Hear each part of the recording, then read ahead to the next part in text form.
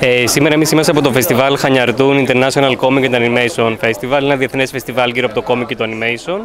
Συνεργαζόμαστε με το Σύλλογο Ορίζοντας στο, στο Street Festival που διοργανώνει και προβάλλουμε ταινίες από τα 5-6 χρόνια του φεστιβάλ, από τα προηγούμενα έτη, ταινίες που έχουν βραβευθεί και είναι μικρού μήκους animation από όλο τον κόσμο.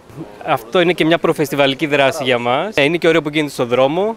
Ε, ουσιαστικά είναι και ταινίες έχουμε επιλέξει μικρού μήκους, ώστε μπορεί κάποιος περνώντας να κάτσει να δει, να φύγει, να είναι κάτι ένα δρόμενο περαστικού που δεν είναι ανάγκη να κάτσει με μια ώρα. Μπορεί να περάσει λίγο, να δει, να φύγει, να ξανακάτσει. Οπότε είναι σαν να κουμπώνει πιο καλά στο πλαίσιο αυτό του street festival.